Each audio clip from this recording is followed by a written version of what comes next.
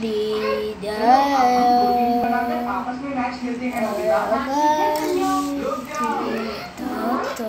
तुम लोग बहुत ज़्यादा शोर मचा रहे हो क्या तुम्हें पता नहीं दूसरे लोग डिस्टर्ब हो रहे हैं शोर मचाने की बजाय तुम्हें घर जाकर अपना होमवर्क करना चाहिए समझते भी नहीं है दो इससे क्या होगा? भी कर रहा हमें अपना होमवर्क करना चाहिए ऐसा लगता है इसकी तबीयत खराब है है ना नोबिता ये ऐसा बिहेव क्यों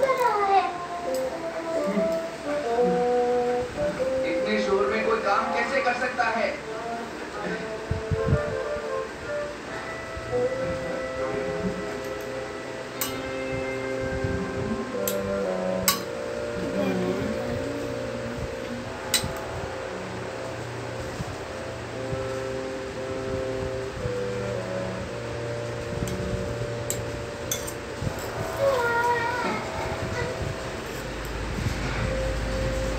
सुनो चेको देखा शोर बंद हो गया।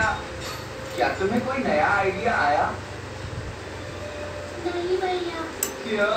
भैया मुझे कोई नया आइडिया नहीं आ रहा। मुझमें टैलेंट नहीं है मैं हार मानती हूँ। तुम्हारा मतलब क्या है? देखो तुम एक जीनियस हो। ये सच है जयको और एक दिन तुम इस देश की सबसे बड़ी कार्टूनिस्ट बनोगी। नहीं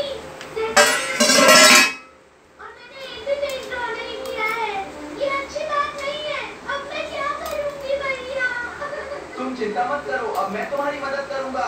ठीक है? तुम बिल्कुल भी मत घबराना जयको। ये क्या करेंगे? मैं जाकर मोटियो से मिलता हूँ जो कॉमिक क्लब का एडिटर है और मैं उससे जाकर कहूँगा डेडलाइन एक्सटेंड कर दो नहीं तो ठीक नहीं होगा।